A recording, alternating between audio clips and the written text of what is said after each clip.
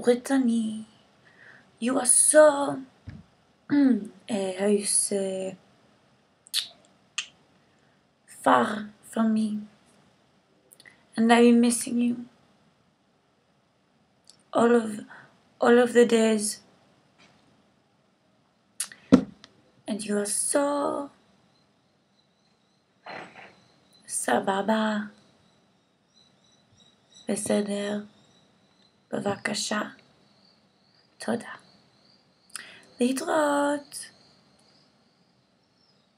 I miss you so much. I'm in Israel without you and I can't find towels.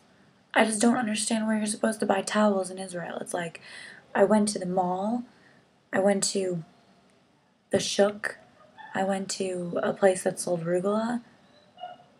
Not that I was looking for towels, but it would have been nice.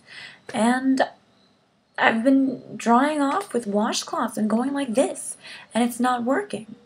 And it sucks. So I miss you guys a lot. I've been so spoiled with all the hotels and all the free food and yeah. It's not the same.